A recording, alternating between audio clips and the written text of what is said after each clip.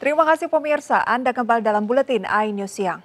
Dua ledakan dahsyat terjadi di ibu kota Libanon, Beirut. Selain menewaskan 100 lebih jiwa, ledakan itu membuat ribuan orang terluka. Kepanikan pun terjadi hampir di seantero Libanon.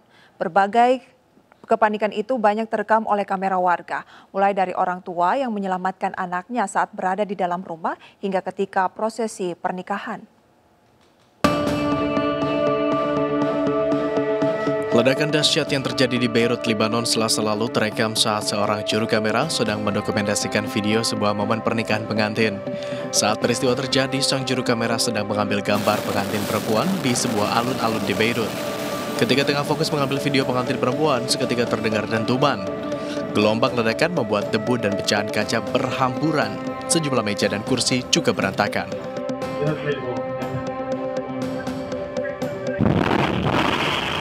Kepanikan juga melanda seorang pria saat mengetahui rumahnya bergetar hebat. Sempat kebingungan sesaat, pria ini akhirnya menyembunyikan anaknya ke balik kolong meja. Hal serupa dialami seorang perempuan yang tengah membersihkan rumah. Dentuman itu membuat sejumlah barang miliknya berterbangan dan nyaris membuat anaknya terpental.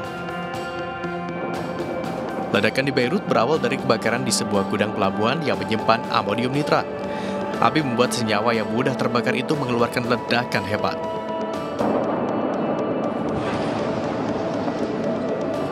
Akibatnya, sejumlah bangunan di radius 10 km dari pusat ledakan mengalami kerusakan.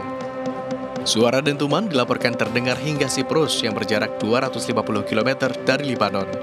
Korban meninggal akibat ledakan ini mencapai 135 orang dan korban luka sebanyak 5.000 orang.